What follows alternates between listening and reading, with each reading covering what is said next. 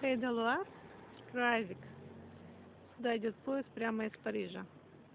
Я остановилась немножко раньше, в Сен-Назаре. Потому там немножко дешевле ночлег. Приехала сюда на электричке, сюда 38 минут ехать.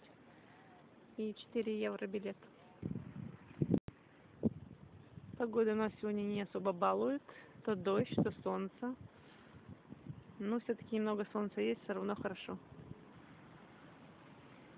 Возле набережной тут вот есть порт маленький.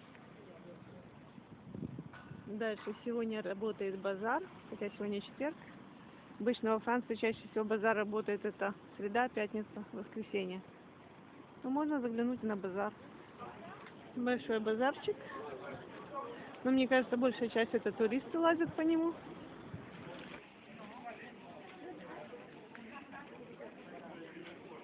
Особенность базара, здесь можно купить еду дешевле, чем где-либо. Живопись, живопись. Акрилик продают. Холсты можно купить.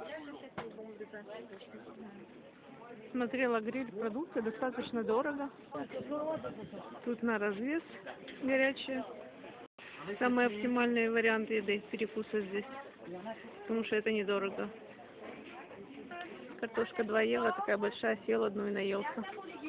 Я думаю, что я закончу здесь маленькое видео и возьму себе покушать, потому что уже 12. Я боюсь, что там я не найду ничего, что в ресторане будет очень дорого.